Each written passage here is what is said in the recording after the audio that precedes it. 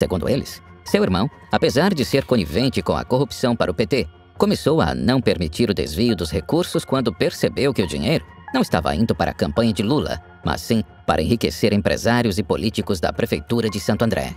Francisco Daniel afirma que Celso possuía um dossiê com indícios de enriquecimento ilícito de Sombra, Clinja e Ronan Maria Pinto. Parte deste dossiê foi encontrado no apartamento de Celso Daniel por seus irmãos após sua morte. O método de tortura utilizado sugere que os criminosos queriam obter informações de Celso Daniel. A atitude de Celso perturbava a alta cúpula do PT, que em ano de eleição estaria preocupada com a imagem do partido. Eu tenho medo. Nós estamos falando com gente muito graúda. Celso Daniel. Mas você acha que é do time deles lá? Sim, eu, eu gostaria de não responder essa pergunta porque ela é muito, uhum. o que eu fiquei sabendo é muito grave. Mas E o senhor não vai poder garantir a minha vida, senhor.